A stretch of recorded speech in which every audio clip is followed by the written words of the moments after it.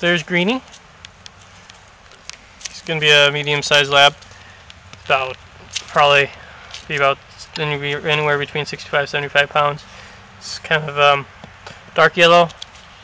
Has the darker on back, little lighter shading on the belly. It's going to be similar color as mom, I think, maybe a little darker. We're trying to get him into retrieving right now. He's kind of more interested in checking out what's going on outside. We just had him with the neighbor's girl yesterday. She's about two and a half, and he was actually pretty good for a puppy.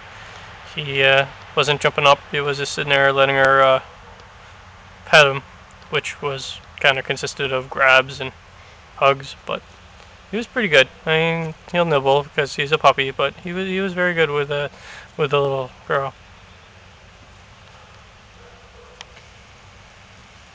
And can see he's gonna have probably some a little bit of angel wings going on, but he's definitely a darker color.